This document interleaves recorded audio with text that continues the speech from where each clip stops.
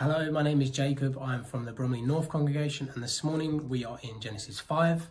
Um, and if you've read Genesis 5, you will notice that it is a list of names and it's a family tree. But there's one person I want to focus on this morning, and that is Enoch. So I'm just going to read from Genesis 5, verses 21.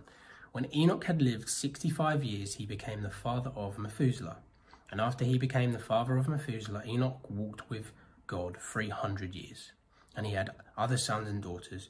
Altogether, Enoch lived 365 years, and Enoch walked with God. Then he was no more because God took him away. Now, I don't know if you're anything like me in this last season, you've gone on a lot of walks. I've done more walks in this last year than I have in my life combined, I'm telling you.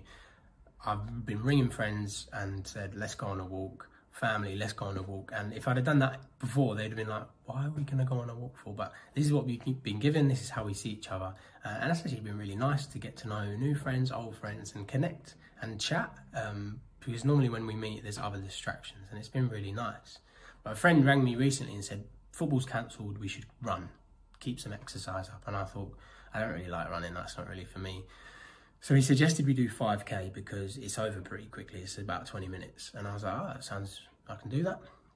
So we've been running together and honestly it is, it is terrible. I, you start off cold, then you get too hot, and then you get cold again.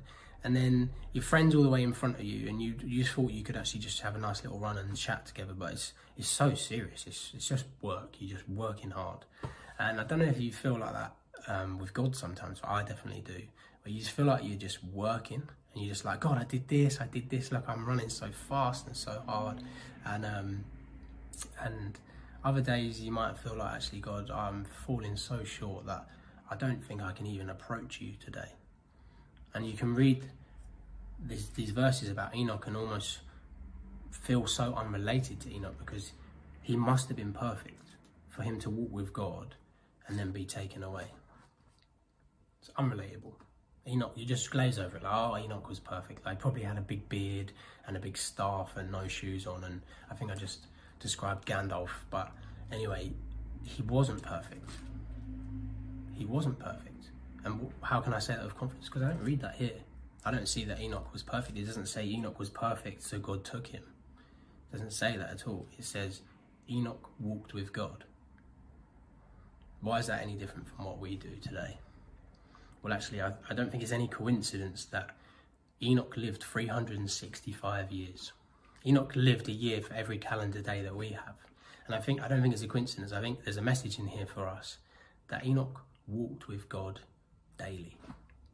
I don't think Enoch was perfect. I know Jesus was perfect.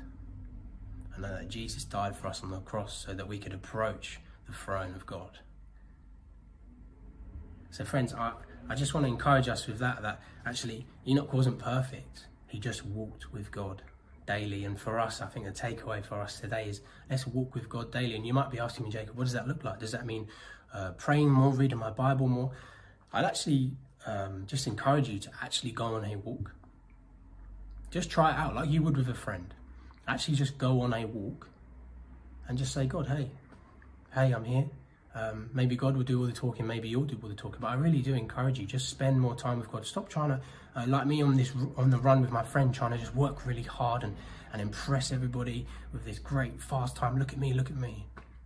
Just relax and just say, hey, God, I'm here. And God's like, I'm here. Let's walk. Um, so I hope this blesses you. Um, but friends, walk with God daily, through the highs, through the lows. Enoch was not perfect. He just walked with God daily. Bless you.